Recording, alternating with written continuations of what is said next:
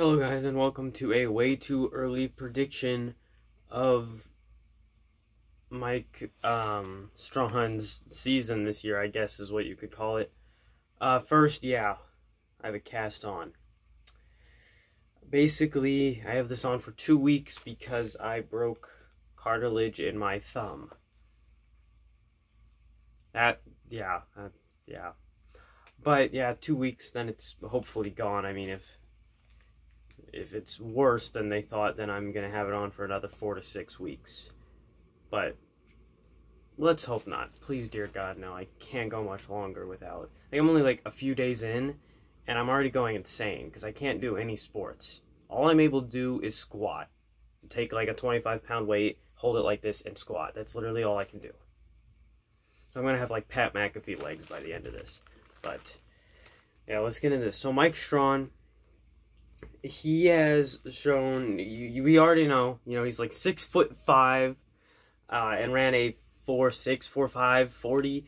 So he's bigger than michael pittman and just about as fast if not faster than michael pittman.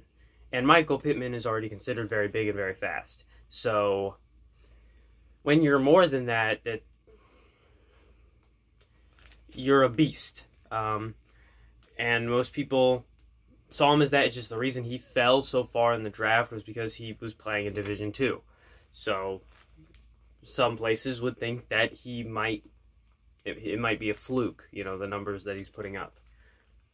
But so far in training camp, it does not look at all like it is a fluke because I mean here are some here are two clips that I have uh, that I found on Twitter. Um, yeah, he's bullying Pro Bowl cornerback Xavier Rhodes, who had a very good year last year. Um, and then the other one, uh, I think someone was covering. Yeah, he juked him out of the beginning, but. and but those two clips, they're very good, and there are so many reports saying that Michael Strachan uh, Mike Strachan is having a very, very good training camp. He's looking really good. So, what I think this year uh, is probably going to happen with him. Probably a similar season to Michael Pittman Jr. last year. You know, like a 500 something yards total receiving over the year. Um, maybe more than just one or two touchdowns, I believe, is what he had receiving. Maybe a bit more than that because Mike Strachan is built kind of like a tight end. So I feel like when we, if it's a if we're close to the goal line, you know, like on the five or the ten yard line, we're just gonna have him run a slant or if we're on the five, maybe a hitch or something. Um, because if he has a smaller corner on him, no corner is coming over him and swatting the ball. And if he can keep the corner behind him and the quarterback puts the ball right here, nobody's getting to that. So in short yardage situations where we're right in front of the end zone and he can just run in there and catch a short little dump pass and score a touchdown, he is he would be very good in those situations. So I feel like we'd use him accordingly, and maybe he'd get like three or four touchdowns. So a few more than Michael Pittman Jr. in his rookie year. Do I think he's gonna be like some amazing Pro Bowl receiver this year? No, but I do think he will be a meaningful contributor to this team.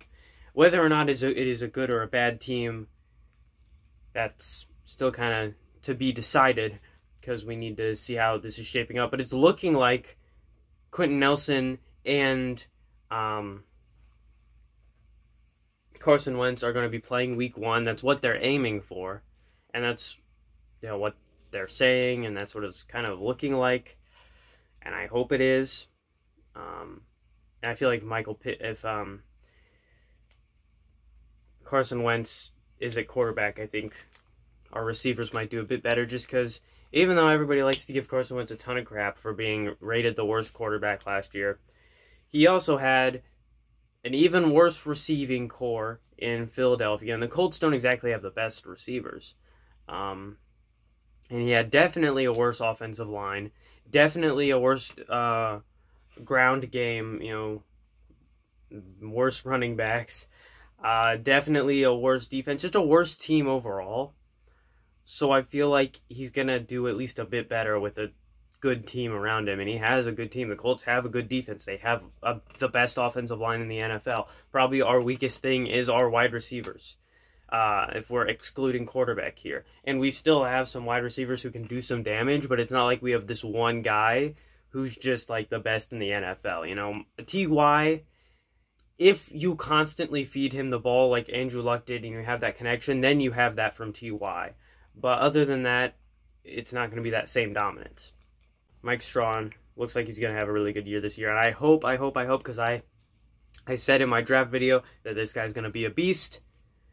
Let's continue my streak of being right with prospects. So far, the only prospects I've been wrong with have been TJ Leaf and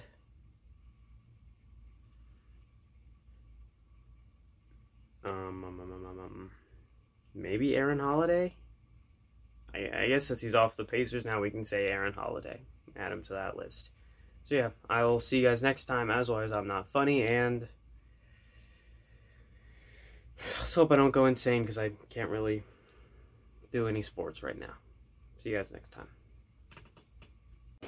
There's the 2-2. Oh, and he went too far.